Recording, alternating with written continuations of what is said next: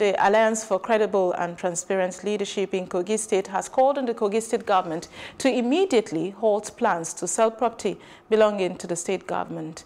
The alliance, while speaking to newsmen in Abuja, condemned attempts to sell property belonging to the state and acquired by past administrations, saying that the action by the current government in Kogi State is an act of mischief and hostility towards the people.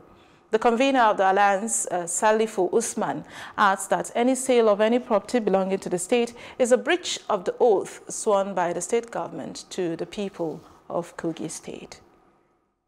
Alliance hereby call on the government of Yahaya, Alhaji Yahaya Bello to take immediate measures to ensure that democratically elected councils are constituted in our local councils in line with the provision of the 1999 Constitution and also with the standing decisions of the Supreme Court with regards to the administration of local government in Nigeria.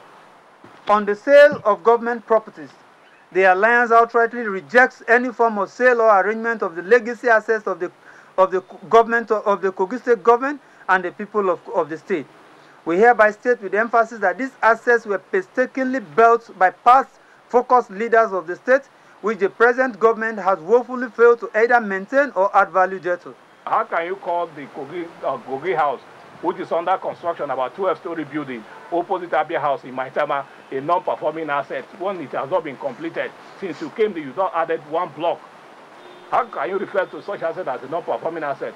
A hotel built by Prince Abakar Audu, Complex Beach Hotel, that was uh, a signature of a kind you, no, no attention has been paid to it. How do you call such, such an asset a scrap? So what they are saying is just, is just uh, you know, a way of deceiving the public. But some of us refuse to be deceived.